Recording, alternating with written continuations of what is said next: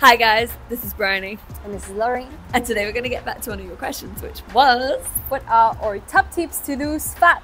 Point number one being what was our point number one? Fuck. track your calories. Oh yeah, tip number one is to monitor your food intake by keeping some form of food diary, whether that's MyFitnessPal or you're writing it down handwritten in your notes. Try and gauge as much of an insight into what your current nutritional habits and intake looks like. Point number two. Resistance training, and because the goal is to lose fat and not just weight, you need to train at least three times a week to make sure that what you're losing is actually body fat and not muscle. Because the more muscle you have, the, more you can body. eat. Oh, I was gonna. I thought you were gonna say the same thing. Point number three. Got. Oh yeah. Point number three: to move daily. So increase your output. So you have to be realistic in what that currently looks like for you. So if you're currently in an office job, barely making 5,000 steps, maybe just start there and hit 5,000. If you're someone who's pretty active, you're around 8 to 10, then maybe all you need to do is just be a little bit more intentional mm-hmm. and increase those slightly by an extra thousand and then keep it like that. You don't need to go above and beyond, but also look at your weekly average or your daily output and you can start there. Mm-hmm. Point number, what is it? Point number four. Cardio.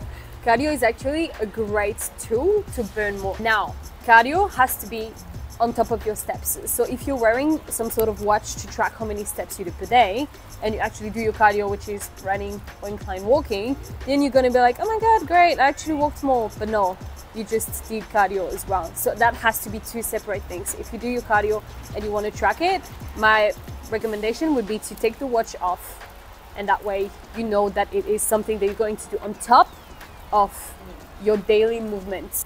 Why would you do cardio? If you're someone who's actually really busy, let's say you have an office job and you're not able to do 10,000 steps per day, then by just adding half an hour or even 20 minutes cardio session per day can be a great way to have that energy expenditure.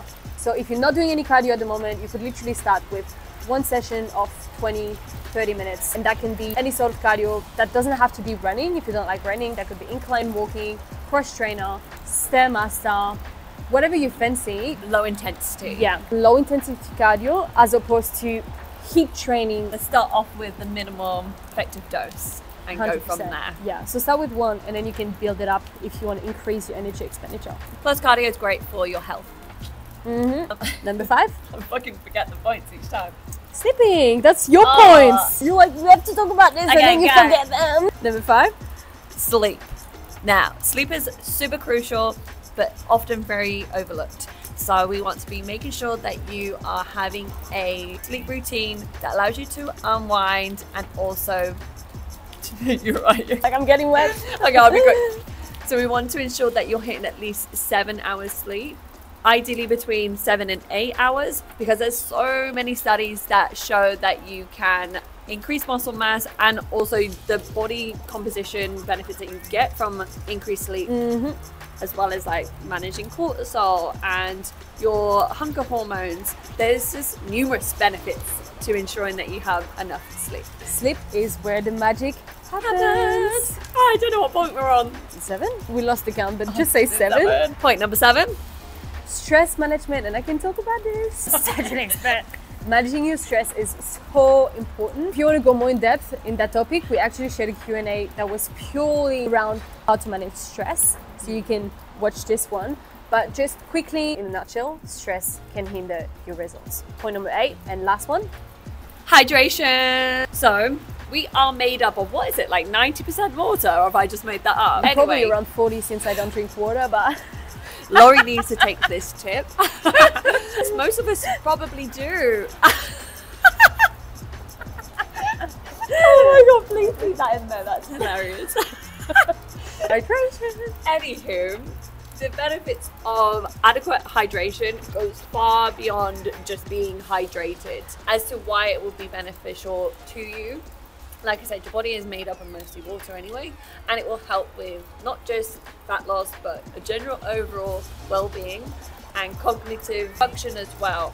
And it's super important that when you are training that you are staying hydrated and you're replacing those lost liquids and throwing in some electrolytes as well in there because mm. that will keep you hydrated. So you might be someone who actually drinks quite a lot. Your body doesn't actually quite see it, and you are still mm-hmm. dehydrated. So electrolytes may come into that. Yeah. But if you're someone who barely drinks water and only has like tea, coffee, or alcohol, then start with maybe just having a glass of water to kickstart your day, and then top tip: carry around a water bottle with you. So you've always got one on hand. Like I literally always have a water bottle. It's literally there.